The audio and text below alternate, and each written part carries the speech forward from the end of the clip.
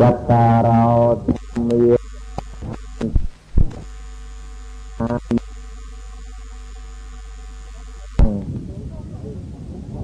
សូមចម្រើននៅពុទ្ធពរទាំងឡាយ4ប្រការគឺទី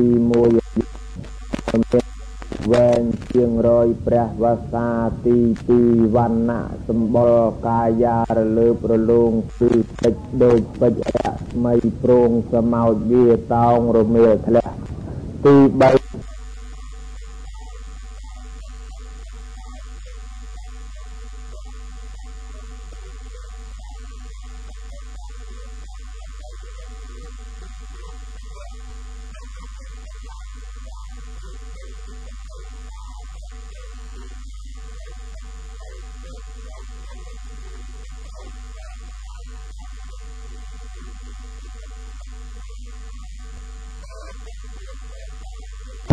ចូលចម្រុងចម្រើនការកើតមានដល់អស់លោកជាទានបរាធិបតីសម័យមេអាទានប្រតិ។